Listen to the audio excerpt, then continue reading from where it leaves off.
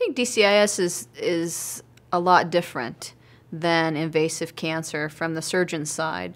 Many times when we're excising palpable lesions that are mostly invasive cancer, we have a little bit more confidence that, okay, I- am pretty sure that I've probably removed this all, and with using the specimen radiograph.